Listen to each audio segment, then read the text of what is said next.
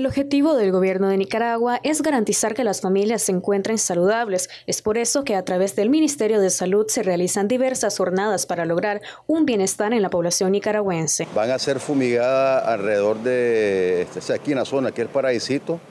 El objetivo es fumigar verdaderamente casa por casa, que son 350 casas. Eh, y cabe hacer mención que el objetivo de la fumigación es eliminar lo que es el zancudo y el mosquito en su etapa adulto. La población se ha mostrado aceptable ante estas jornadas, ya que entienden que esto les permite salud en sus hogares. Sí, hermano, es bueno porque vos sabés que el dengue está dando duro en todo, en todo el país. Y tenemos que hacer así, pues colaborar. Aquí hay personas que no les gusta colaborar, no dejan que,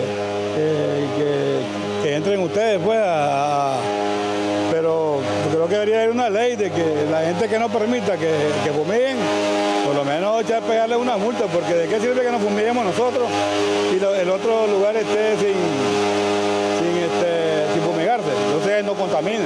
También habitantes del barrio Santa Ana Sur del Distrito 3 de la capital fueron visitados por ferias de la salud donde pudieron realizar sus consultas y chequeos gratuitamente. Ahorita estamos en un punto fijo, ¿verdad? Haciendo el, la, eh, atención a las mujeres embarazadas, niños, toda, toda la población. Más que todo también aquellos pacientes que no pueden acceder al centro de salud por múltiples problemas que han tenido.